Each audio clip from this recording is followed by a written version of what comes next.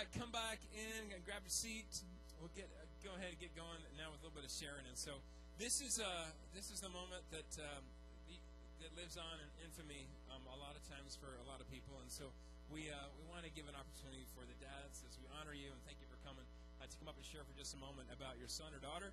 And uh, it, it, it's very appropriate to brag on them, of course. It's even more appropriate to embarrass them.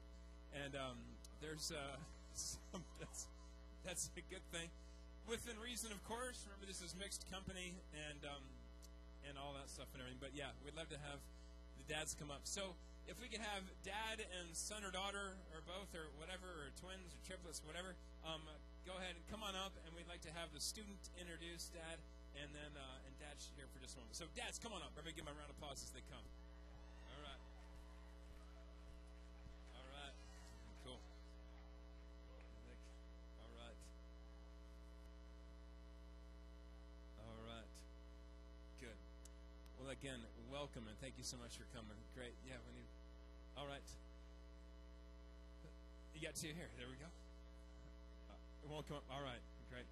Well, uh, again, son or daughter, go ahead and introduce dad. You guys kind of squeeze in the middle here a little bit. Come on. And uh, just kind of pass the mic off as we go, and, and we'll do our little drawing here when you're done sharing everything. So, Tyler, let's start. Your, your name and then uh, dad's name. Okay.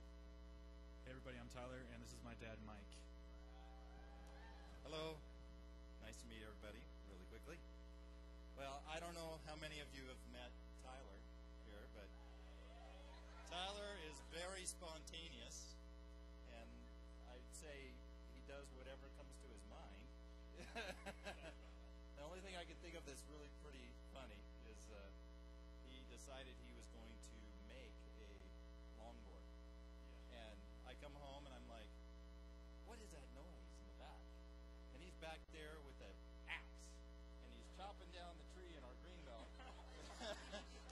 he's going to make a longboard with an axe. Yeah. so I don't think he ever got the tree down, but you know, it was pretty good.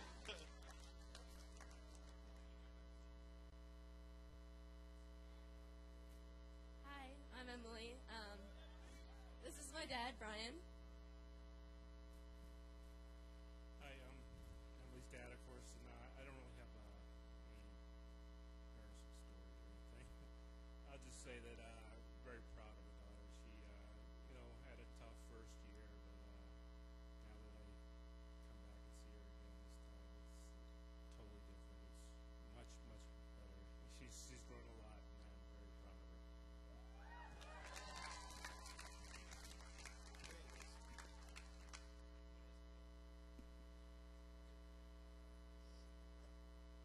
So I'm Lewis, and I'm Chris, and this is our dad.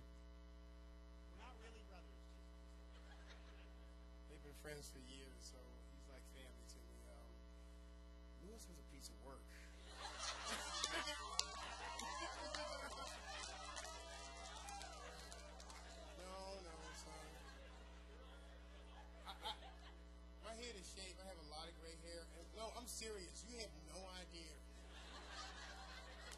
Four years old, I'm serious. Lewis took the car. No, we lived in Lewiston in Clarkston, and um, his grandmother was watching. I'm gonna give you three stories. Well, he, he took the car, and I couldn't believe it. he got a mile down the street. He was only four. And the only reason he got away with it, the car was in first gear, so when he started it, it just lunged forward, and he went about, And the only thing that stopped him was the dirt. Pile of dirt that he ran into was totaled the car. The second time he did it, he wiped out the entire air conditioning unit for the apartment complex. No, I'm serious. And then the worst thing I think, as a parent, you get freaked out because you don't, you don't want anything to happen to your kid. I worked at a, a body shop here. Uh, I can't think of the name of it now. Uh, in Lewiston, I get a call from the state patrol, and I'm freaked out, So they shut out all the avenues to Lewiston and Clarkston and those areas. And I'm sitting on them, and all I could do was pray about it. And you know what he did? He climbed up in the dryer and went to sleep.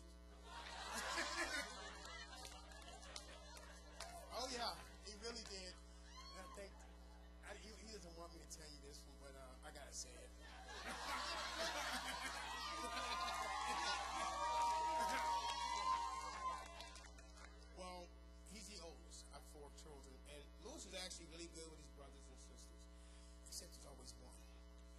Deja's his youngest, and what Lewis used to do was hold her head, and she'd be swinging at him and stuff. Oh yeah, because I know how she is. Well, we went to the grocery store, and Lewis had forgot he had already been messing with her all week. Well, when you're three years old, you got a big brother. What can you do? She bit him where you shouldn't have bit him.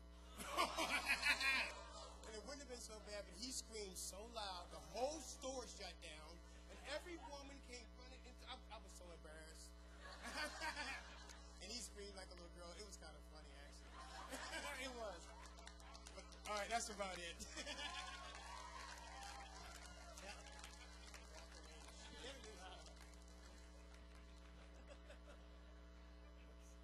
Hello, I'm Joshua, and this is my dad, Jim, and Jessica's my sister. Is over there.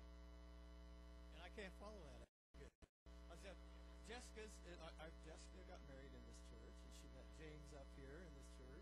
And I, I don't hardly have too many bad stories or really funny stories. So this kid is, but I've been so proud of both of these children, kids. They just they just been so solid and so rock solid.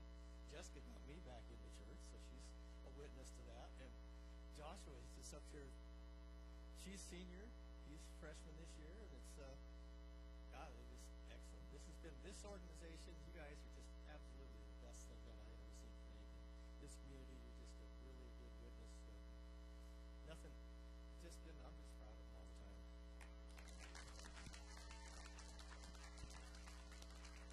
So I'm Cortland, and this is my stepdad, Luke. So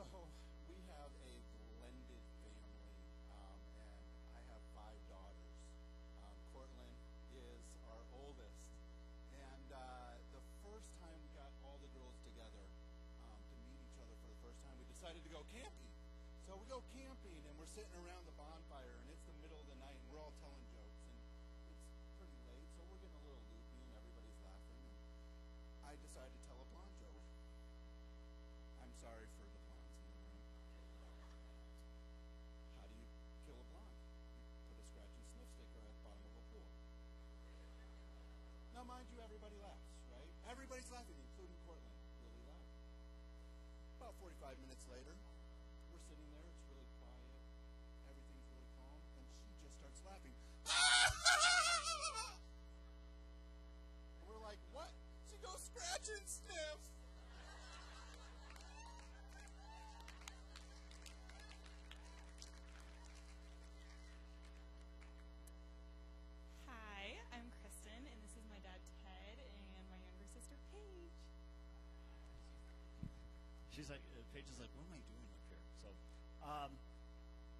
So we were talking about, hey, Dad, what story are you going to tell? And I have to share with you that at six weeks old, I dropped Kristen.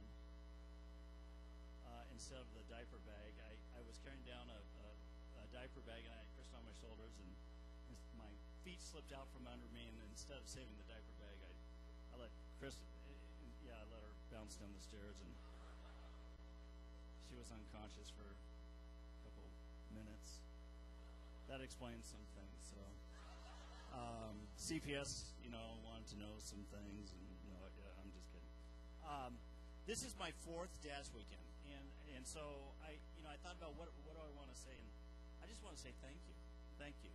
Um, this has been an amazing experience for my daughter, and I can't tell you how much as a parent. I can tell you that. Um, you know, when I was here and she was a freshman, and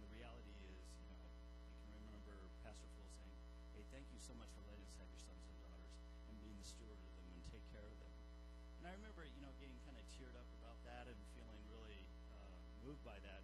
But even so much more now today, because I've watched her grow in this church, the trips to Haiti, just the level of involvement, and to watch her flourish to be an amazing young woman of God.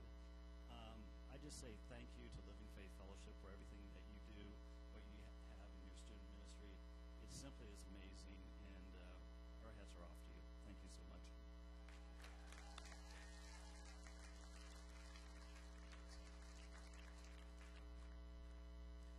We've tried not to drop her on, uh, at, uh, that handoff and be really careful with it. That's great. All right, great.